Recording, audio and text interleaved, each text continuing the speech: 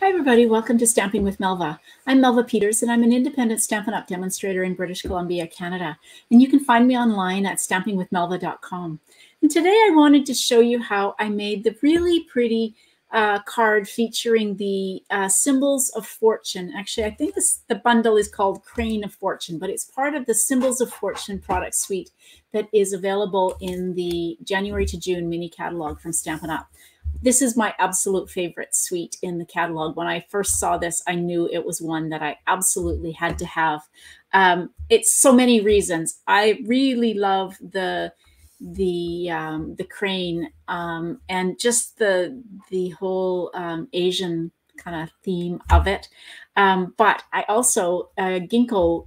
I have a ginkgo leaf in my um, my logo. And so for me, when I saw the ginkgo uh, leaves uh, and the in the dies, I yeah, yeah, it just definitely had to have it. Um, it's really pretty, and the colors are stunning. Um, soft succulent, calypso coral, crumb cake, um, and then it's got uh, the designer series paper has smoky slate and gold on the other side as specialty. So so pretty. You're gonna love this. All right, let me show you the card uh, that I'm going to show you how to bake.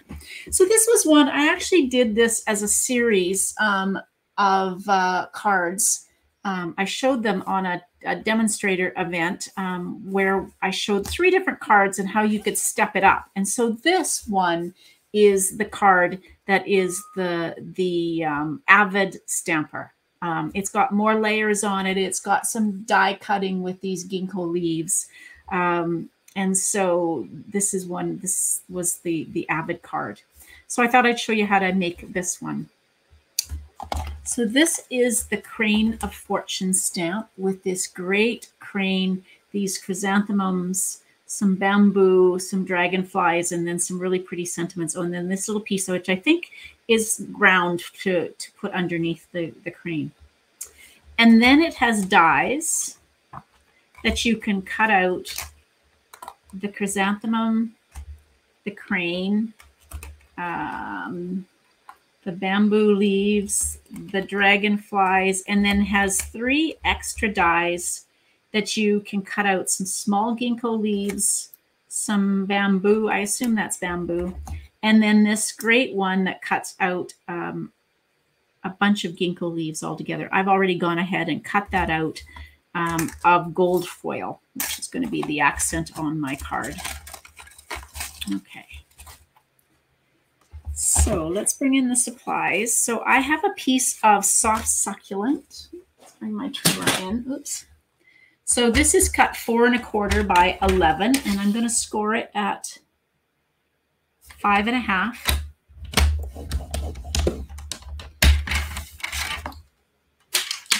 Try to always score my cardstock. You just get a nicer fold when you actually score it than just trying to fold it in half. So when I score, this is the side I scored on, and there's a little bit of an indent.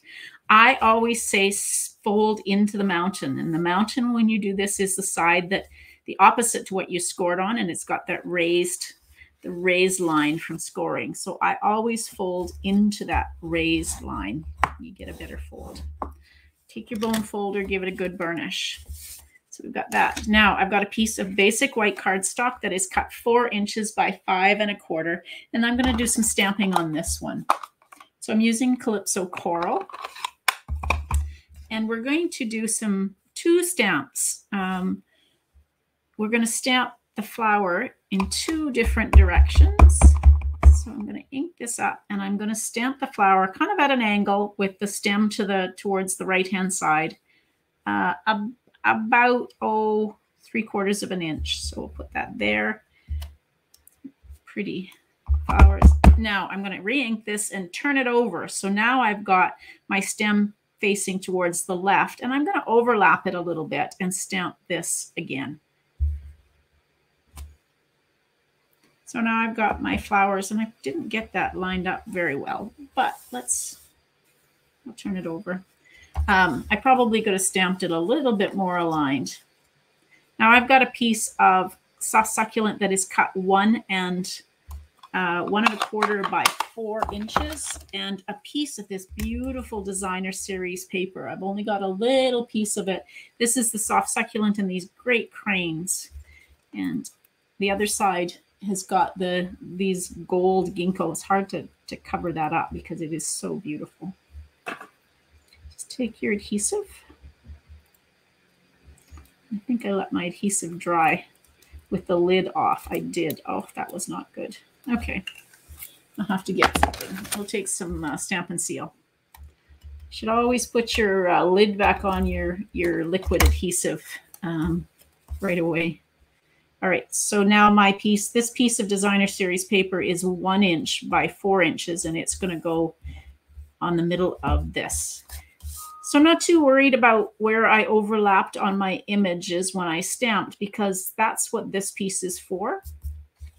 We're going to adhere this just down. We'll cover any of where I've overlapped with the stems. So it's just gonna, gonna go in the middle here.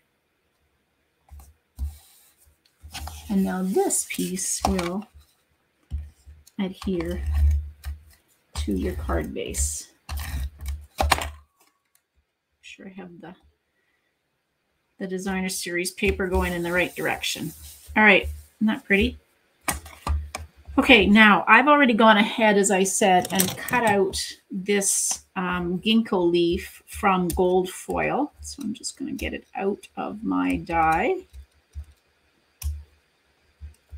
I can. It's got all little pieces, so we'll just poke. There we go. That's starting to come out. There we go. Pull it out. Now, I need to get all the little gold little bits out. So that's where your take your pick tool comes in handy. Or you can use the, the sharp edge, sharp end of your paper snips. That works too, but these take your pick tools are, everybody needs at least one. I seem to have them all over the place because I, I'm always needing one. And so I have some on my, my crafting table where I work most of the time. I have one sitting by my Stampin' Cut and Emboss machine because I am always needing, needing one.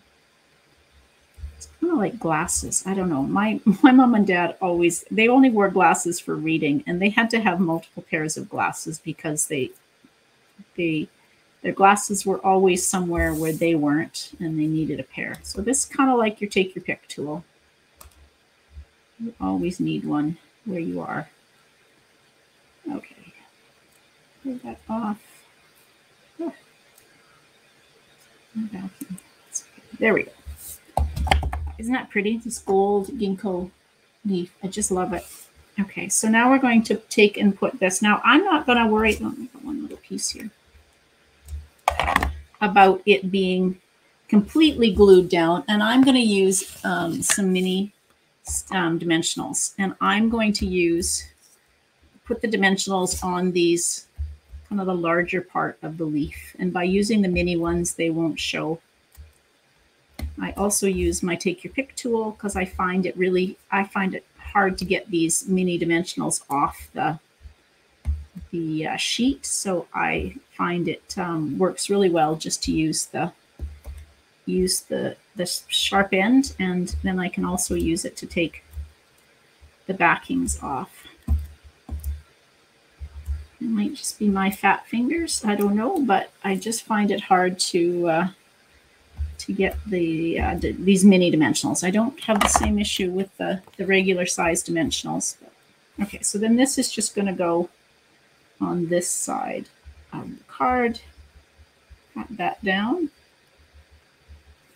And then the last thing, um, I forgot, realized I forgot a piece of basic white to do the inside of the card. So I'll have to do the inside of the card later.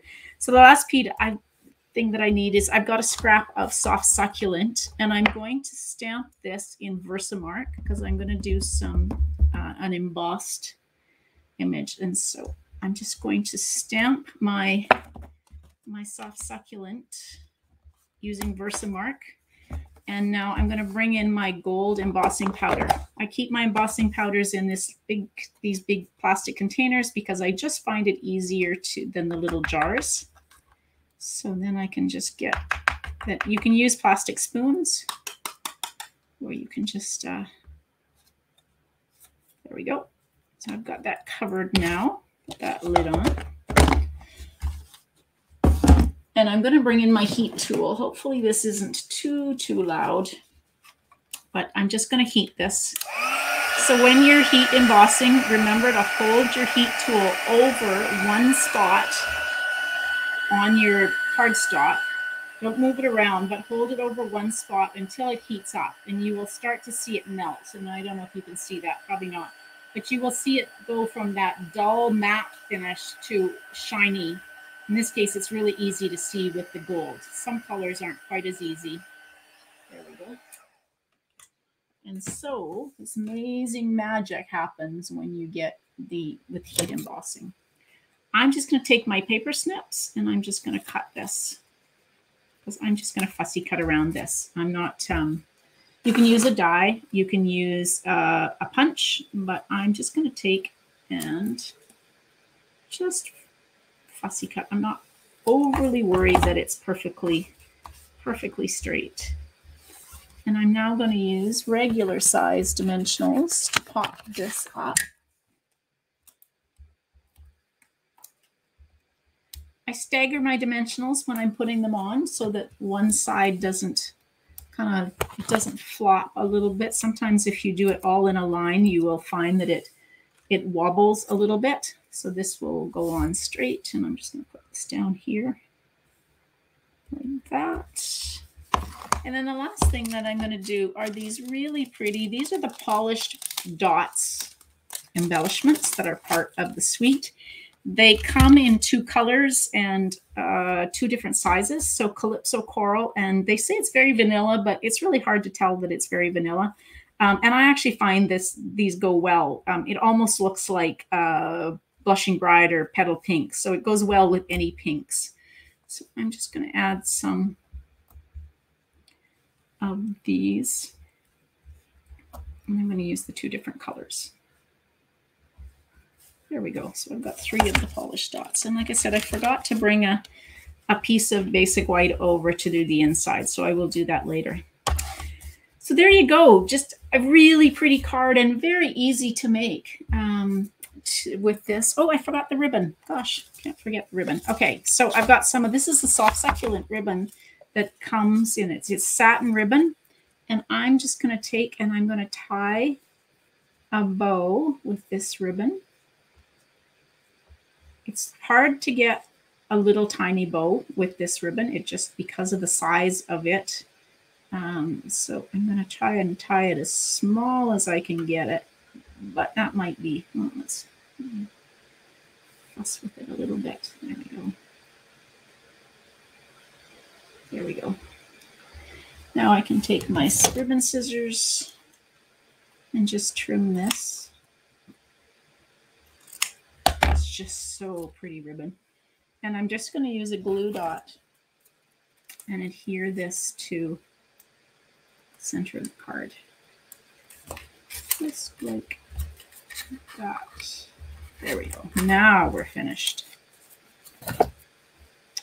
So definitely, I love this card, and that pop of the the calypso coral in behind just really makes the the whole card pop.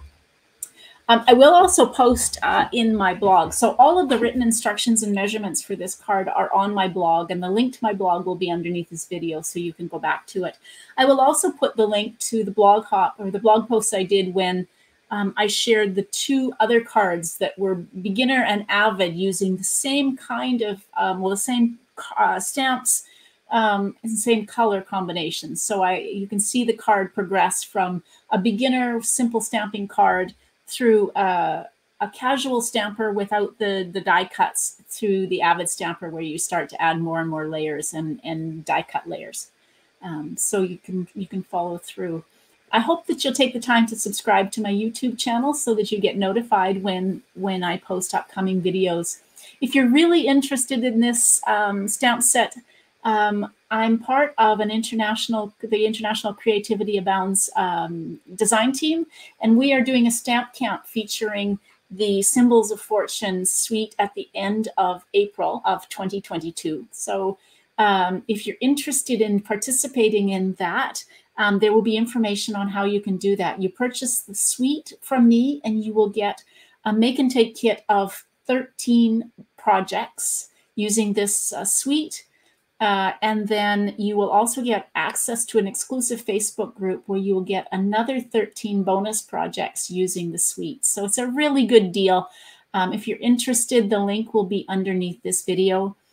Um, I hope you'll, you'll subscribe. If you are not in Canada and you're interested, we have part, members of the design team from the, the US, from the UK, and from Australia. So uh, if you aren't in Canada, but you're interested in this, I can put you in touch with someone who is part of the design team in those markets. All right, everybody, thanks for joining me. I hope you enjoyed it. If you have any questions as you're watching this video or you're over on my blog, um, just leave a comment and I will be sure to answer them and, and uh, help you with your card. Thanks, everybody. Happy stamping. Bye.